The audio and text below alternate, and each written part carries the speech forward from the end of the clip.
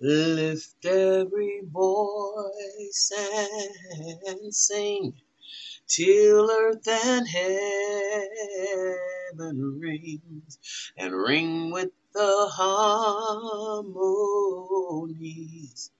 of liberty.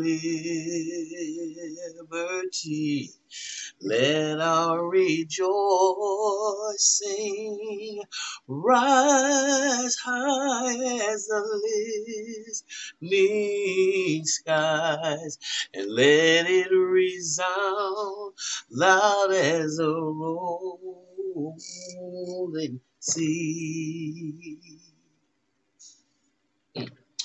Sing a song full of the faith that the dark past has taught us.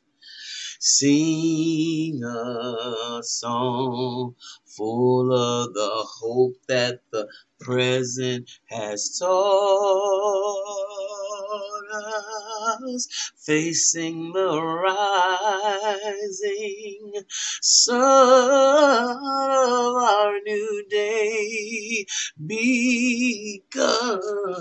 Let us march on till victory is won.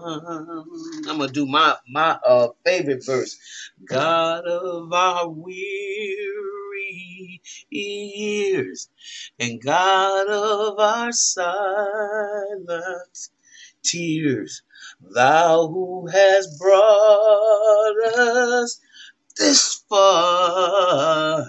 On the way, thou who has by thy might led us into the light.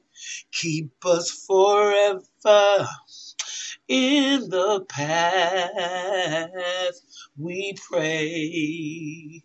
Mm-mm-mm. Listen, y'all. There's about four verses to that song, and I figured because it's Black History Month, let me just go ahead and sing those few verses. I'm sure that I'm not going to get flagged for that. And if I do, then all of us should do something about YouTube. Because if we can't do the Black Anthem, those of y'all who don't know uh, the Black Anthem, which was written by, uh, what is it, James Weldon Johnson, I think you should look at those words. Look at the words. It's very important that we do. Because a lot of people think, ah, we passed that, we passed that, but we're not. No, we're not. Stony the road we trod, bitter the chaste and rot. Are y'all kidding me? Felt in the days when hope unborn had died, yet with a steady beat, have not our weary feet come to the place where our Father side. We right there right now. This is the place where our Father side. Okay? Because y'all think we got it bad now.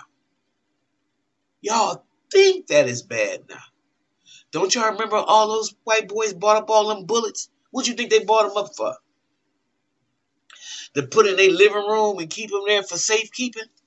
You see how all these crazies are taking over the school boards? Huh? These these people are prepared for war on our asses. Okay? Because we got a subgroup as well that don't realize how important that they are in terms of all hands on deck. And they want to eat us. And that's why I always say some of us got to eat our young. We do.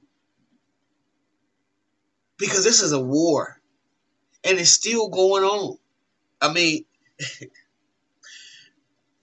have not our weary feet? Are y'all kidding? It's a fight every single day. And our mental health now is at the point now is very much in question. Um, very much how we handling adversity, how we handling everything, because these people have almost succeeded in driving us mad.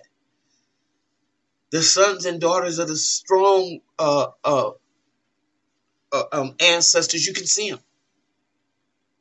The weak ones have been driven mad. But we're all going to be lumped together, okay?